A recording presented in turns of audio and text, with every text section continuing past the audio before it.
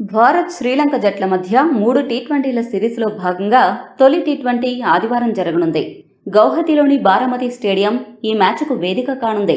భారత్ శ్రీలంక ఇరు జట్లకు ఈ ఏడాదిలో ఇదే ప్రారంభ మ్యాచ్ కావడంతో సర్వత్రా ఆసక్తి నెలకొంది.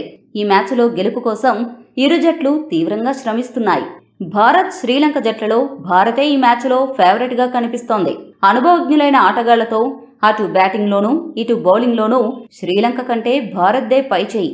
ఈ టీ ట్వంటీ సిరీస్లో రోహిత్ శర్మకు విశ్రాంతినిచ్చిన భారత జట్టు యాజమాన్యం రోహిత్ శర్మ స్థానంలో గాయం నుంచి కోలుకున్న ఎడమ చేతి వాటం డాషింగ్ ఓపెనర్ శిఖర్ ధావన్ జట్టులోకి పునఃప్రవేశం చేశాడు. కేఎల్ రాహుల్తో కలిసి శిఖర్ ధావన్ భారత ఇన్నింగ్స్ను ప్రారంభించనున్నాడు.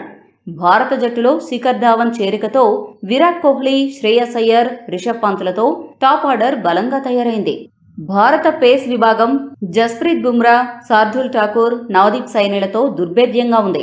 భారత బౌలింగ్ సంచలనం జస్ప్రీత్ బుమ్రా రాకతో భారత బౌలింగ్ విభాగం అత్యంత పటిష్టంగా కనిపిస్తుంది. ఆల్రౌండర్లు రవీంద్ర జడేజా శివన్ దుబే కూడా బౌలింగ్లో సేవలు అందించడానికి సిద్ధంగా ఉన్నారు. స్పిన్నర్ యుజ్వేంద్ర చాహల్కు ఈ మ్యాచ్లో అవకాశం లభించనుంది. జస్ప్రీత్ బుమ్రా గాయం నుంచి పూర్తిగా కోలుకున్నట్టే కనిపిస్తున్నాడు. శుక్రవారం ప్రాక్టీస్ సెషన్లో భారత జట్టుతో కలిసి ప్రాక్టీస్ చేశాడు. భారత్ బంగ్లాదేశ్ వెస్టిండీస్తో జరిగిన టీ ట్వంటీ సిరీస్లలో విజయాలతో మంచి ఊపు మీద ఉంది. మరోపక్క శ్రీలంక ఇటీవల ఆస్ట్రేలియాతో జరిగిన టీ ట్వంటీ సిరీస్లో మూడు సున్నాతో ఓటమి పాలై భారత్తో జరగబోయే టీ ట్వంటీ సిరీస్లో ఎలాగైనా గెలవాలని కసిగా ఉంది.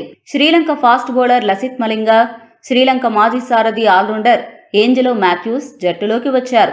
ఈ ఇద్దరు అనుభవజ్ఞులు జట్టులో చేరడంతో శ్రీలంక కూడా బలంగానే కనిపిస్తోంది. యువ ఆటగాళ్ళతో నిండిన శ్రీలంక జట్టు ఫీల్డింగ్లో భారత్తో సమానంగా ఉంది.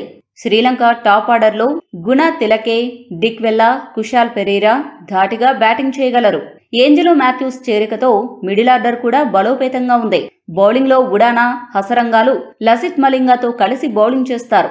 ఇటీవల కాలంలో శ్రీలంక విజయాల్లో కీలక పాత్ర పోషించిన శ్రీలంక స్పిన్ ద్వయం దాసన్ సనాకా సందకన్ భారత్పై తమ సత్తా చాటడానికి సిద్ధంగా ఉన్నారు. శ్రీలంక తన స్థాయికి తగ్గట్టుగా ఆడితే ఆదివారం హోరాహోరీ పోరు జరగడం ఖాయంగా కనిపిస్తోంది. ఇక గౌహతిలో పదహారు డిగ్రీల సెల్సియస్తో వాతావరణం చల్లగా ఉంది. ఆదివారం ఓ మోస్తరు జల్లులు కూడా పడే అవకాశం ఉంది. గౌహతిలోని బారామతి స్టేడియం చిన్నది కావడంతో ఇక్కడ పరుగుల వరద పారడం ఖాయం. భారత కాలమానం ప్రకారం ఆదివారం సాయంత్రం ఏడు గంటలకు ఈ మ్యాచ్ ప్రారంభమవుతుంది. ఈ వీడియో గనుక మీకు నచ్చినట్లయితే లైక్ షేర్ కామెంట్ చేయండి. మరిన్ని ఆసక్తికర అంశాల కోసం మా ఛానల్ని సబ్స్క్రైబ్ చేసుకోండి.